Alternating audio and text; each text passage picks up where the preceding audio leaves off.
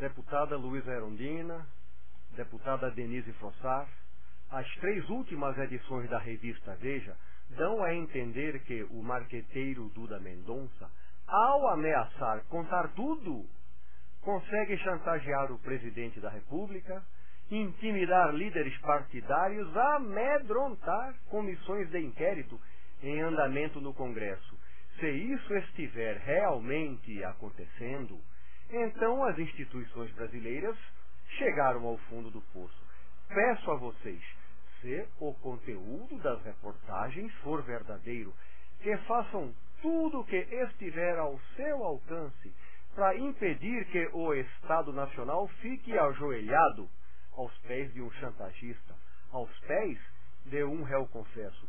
Peçam ajuda, se acharem necessário, à imprensa, ao Ministério Público, às organizações que defendem direta ou indiretamente a cidadania, aos colegas parlamentares que forem confiáveis.